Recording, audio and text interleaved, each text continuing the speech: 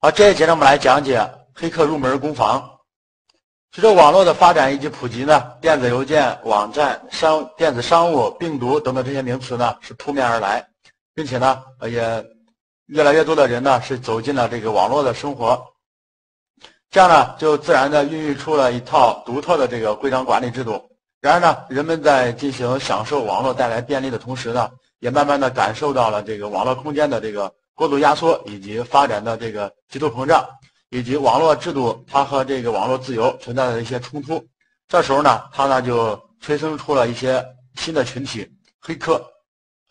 好，下面呢我们来看一下本节的主要内容。本节呢主要包括以下几个内容：第一个呢是认识黑客；第二个呢是进程、端口以及服务是多少；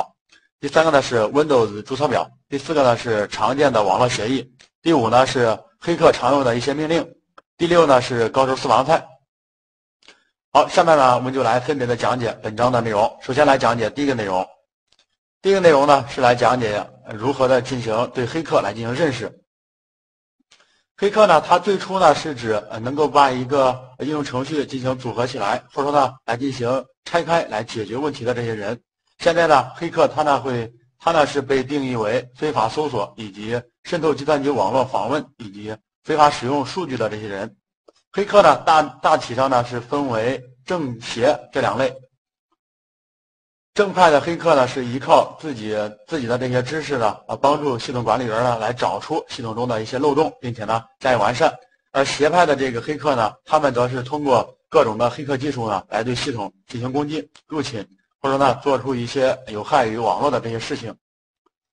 好，下面呢我们来看一下本节的主要内容。本节呢主要包括以下几个内容：第一个呢是重大的黑客事件回顾；第二个呢是黑客行为应当承担的这个法律责任；第三个呢是黑客行为的刑事责任；第四个呢是呃计算机的防黑的第一道防线，防病毒的这个软件。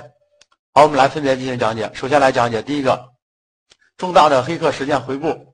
目前呢，黑客对这个社会的危害呢，这个危害程度呢是非常严重的。并且呢，已经引起了各国政府以及治安机关他们的密切关注。现在的这个黑客呢，已经蜕变成呃危害社会以及网络正常秩序的这个罪犯，在国内外呢都有这个黑客事件的发生。下面呢，我们就来列举出一些近些年来发生在国内外的一些比较典型的这个黑客事件。好，这里边呢，我们来分别来说一下。比如说呢，呃，一九八三年，呃，一九八三年，凯文。米特尼米特尼克因为发现，嗯，使用一台大学里边的这个计算电脑呢，擅自的进入当前这个互联网的前身阿帕网，并且呢，啊，通过这个网呢，进入到的美国美国的五角大楼的这个计算机。好，这是第一件。第二件事呢，是一九九九年，梅丽莎病毒呢，是世界上啊三百多三百多家计算机的这个电脑系统呢，遭受崩溃。并且呢，该病毒造成的这个损失呢，接近四亿美元。它呢是首个具有全球破坏能力的这个病毒。啊，作为该病毒的这个编写者戴维·斯密斯，在编写这个病毒的时候呢，啊，他呢才三十岁。好，我们来说一下第三个。第三个呢是两千年的时候呢，啊，年仅十五岁的啊，绰号为“黑手党”的黑手党男孩的这个黑客呢，在两千年二月六号到二月十四号情人节期间呢，成功的侵入了。包括雅虎、易拜以及其他的一些大型的网站服务器等等，它成功的阻止了这些服务器呢向用户提供提供服务。好，第四个呢是两千零八年的时候呢，一个全球性的黑客组织利用这个 ATM 啊欺诈程序呢，在一夜之间从全世界四十九个城市的银行中呢盗走了九百万的美元。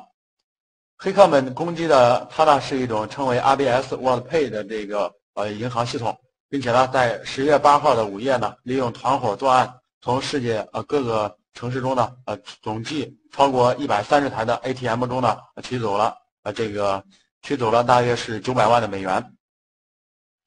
好，再来说下一个，下一个呢是两千零九年七月七号，韩国呢遭受了有史以来最为猛烈的一次攻击，韩国的总统府、国会、国情院以及。国国防部等等这些国家机关呢，以及这个金融界、媒体、防火墙、企业网站呢，等等，都进行了一个攻击。在九号的时候呢，韩国国家情报以及这个国民的银行网站呢，都是无法进行访问的。韩国的国会、国防部、呃外交、通商部等等这些机构呢，这个网站呢是一度无法进行打开。同时呢，它呢也是韩国遭受的有史以来最为强烈的一次黑客攻击。好，下面呢我们来看下一个，下一个呢是二零一零年一月十二号上午七点开始呢，啊全球最大的这个中文搜索引擎百度遭受到了这个黑客的攻击，长时间呢是无法进行正常的访问。它的主要表现为跳转到一些呃雅虎出错的页面的伊朗的伊朗网的这个军事军事伊朗网军图片等等，并且呢出现了这个天外符号等等。涉及的范围呢，包括了四川、福建、江苏、吉林、北京、广东等等国内的绝大部分的省市。这次的攻击，呃，黑这次攻击百度的这个黑客呢，嫌疑是来自于境外，利用了是 DNS 进入篡改的这个方式呢，来进行了一个攻击。同时呢，这也是呃自从百度建立以来呢，啊所遭受的这个持续时间最长、影响最为严重的一次黑客攻击。网民在进行访问百度的时候呢。会被指定到一个位于荷兰的 IP 地址，百度旗下的所有的这个子域名呢都是无法进行访问。啊，这是我们说的这一些呃有关重大的黑客事件回顾这些内容。下面呢，我们来看一下第二个内容。第二个内容呢是指这个黑客行为应当承担的一些法律责任。如果说黑客的行为呢，呃，如果说黑客行为更多的是一种是一种这个技术手段。技术手段本身呢是不存在这个承担责任一说的，但是呢，至于说用了这些手段，呃，来，至于说使用这个手段呢，要不要承担这个法律责任呢？我们呢就可以根据它的这个目的啊，以及造成的损害来进行分析。下面呢，我们就来分析一下黑客们应当承担的这个责任。啊，这里边呢也是分为几条来进行讲解，来进行讲解的。比如说，第一条是资料的盗取。需要盗取的资料，一般来说呢，都是保密的资料。根据资料的不同性质呢，承担的这个责任呢，也是不同的。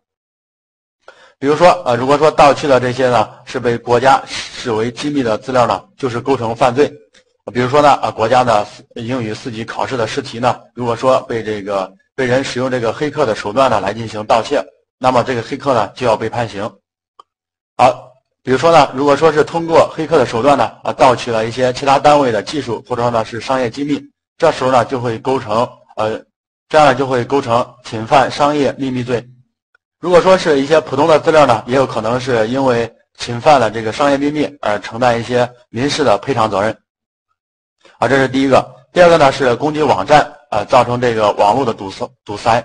不管是出于竞争的目的，还是恶意攻击。或者说呢，是出于好玩的心理呢，故意造成其他网站这个网络的堵塞，造成其他人无法进行访问呢，那么他呢都会对这个网站呢来造成损失。同时啊，造成呃，如果说是造成了损失呢，是当然要进行赔偿的。如果说是一些大型的网站啊，交易呢非常繁忙，网络的堵塞呢就可能造成的这个损失呢是非常大的。同时呢，黑客也将面临着呃巨额的赔偿。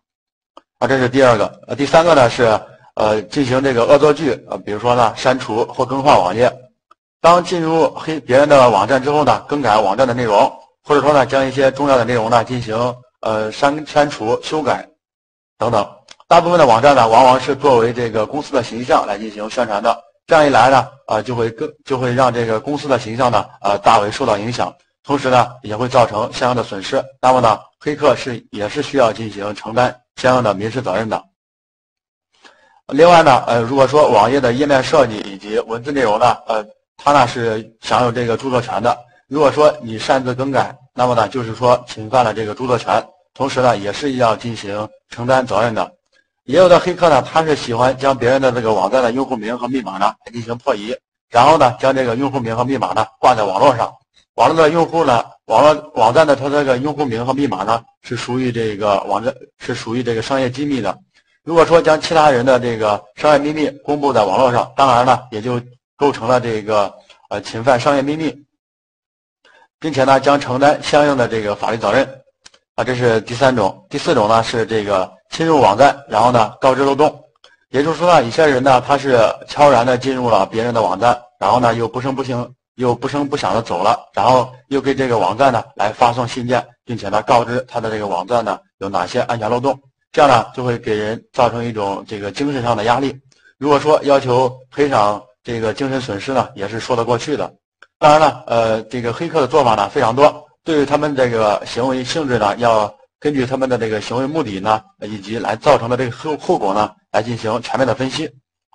啊，这是第二点，黑客黑客的行为呢，应应当承担的这个法律责任。下面呢，我们来看一下第三点，黑客的行为它的这个呃刑事的责任。在我国呢，是规定了相应两种以及两种呢和与这个计算机相关的这个犯罪，分别呢是侵入计算机系统罪以及破坏计算机系统罪。呃，当然了，还有一些，比如说呢是破坏了计算机数据呃程序罪以及这个制作传播计算机病毒罪等等。好，这里边呢，我们来分别说一下。比如说呢，啊，第一个呢是侵入计算机，侵入计算机信息系统罪，它呢是指违反了国家规定，侵入到国家的事务、国防建设以及尖端科学技术领域的这个计算机信息系统，从而呢来构成的这个犯罪。一般来说呢是要判处三年以下的有期徒刑。这条规定呢，只要实施了呃这样的行为，就是构成了犯罪，不管说呃是不是造成了什么损失。呃，即便是到此一游也是不可以的，啊，这是第一个。第二个呢是这个破坏计算机信息系统功能罪、破坏计算机数据程序罪以及制作传播计算机病毒罪。这个呢，呃，这是选择罪名的时候呢，呃，对，比如说呢，是对计算机系统呢来进行了这个功能性的删除、增加、修改、干扰，从而呢造成计算机信息系统呢不能够正常运行。这时候呢，就构成了这个计算机信息系统的这个功能罪。呃，这时候呢是构成了破坏计算机系统信息功能罪。如果说是对计算机这里边存储的这个信息处理，或者说呢来进行传输数据呢，以及这些应用程序呢来进行了修改、删除、增加，或者说或者说呢是这些操作呢来构成破坏，这时候呢呃就是构成了这个破坏计算机数据程序罪。如果说是故意的制作、传播计算机病毒等等这些破坏性的程序呢，从而呢来影响计算机系统正常运行的，它呢是构成了制作、传播计算机病毒罪。构成以上的这个构成，我们刚才说的这几点呢，它呢这个需要判处的是，呃，一般来说是有期徒刑五年以下。如果说后果特别严重呢，可以判处五年以上的有期徒刑。啊，这是我们说的这个黑客的行为，他的这个刑事的责任。下面呢，我们来看一下啊，这个电脑的，也就是说呢，是我们本节的第四个内容，电脑防黑的第一道防线，防病毒的软件。目前呢，使用的这个防病毒软件呢非常多，它的作用呢是指查出已知名的这个病毒呢，并且来进行这个病毒的清除。目前来说呢，能够实现这些功能的这个防毒软件呢是非常非常多的，并且呢，大部分是永久免费的。比如说呢，有些软件，比如说三六零杀毒啊，呃，金山杀毒啊。呃，这个卡巴斯基、呃，瑞星、诺顿、Avast，当然了，还有一些，比如说，呃，比如说有金山毒霸等等这些杀毒软件呢，都可以来进行完成的。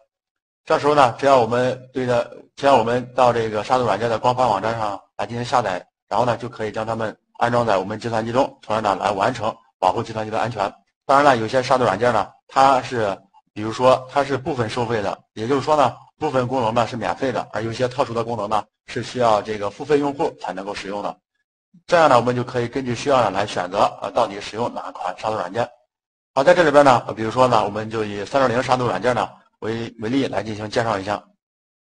好，我们在这边呢啊是打开三六零杀毒软件，我们看到呃这个这里边呢我们是使用了这个四点零的版本。这里边呢我们看到它的界面中呢是非常的简洁，比如说呢在这里边呢有这个快速扫描、全盘扫描以及自定义扫描等等。我们在这边呢，就可以呃，对于我们系统呢来进行具体的扫描，并且呢，也可以对系统呢来进行防护的设置。比如说呢，实时防护，这里边呢，我们就可以来设置这个防护级别。比如说呢，设置为中等防护、低级防护，或者说呢，高级防护。这样呢，我们就可以根据我们当前网络的这个危险程度呢，来设置不同的这个防御级别。啊，这是我们讲解的这个电脑防黑的第一道防线，这个防病毒的软件，我们呢是可以根据需要来进行下载的。并且呢，各个杀毒软件它的这个功能啊，以及作用呢，也是基本上是差不多的。当然了，有些杀毒软件呢，它是提供了一些特色的服务。好，在这里边呢，我们就不再进行过多的讲解了。好，这是我们这一节讲解的认识黑客这个内容，其中呢，我们主要来讲解了重大的黑客事件回顾、黑客行为应当承担的这些法律责任以及刑事责任。当然了，我们最后还介绍了这个电脑防黑的第一道防线——防病毒的这个软件。好，以上呢就是我们这一节讲解的这个认识黑客这个内容。本节的这个内容呢，我们就讲解到这里。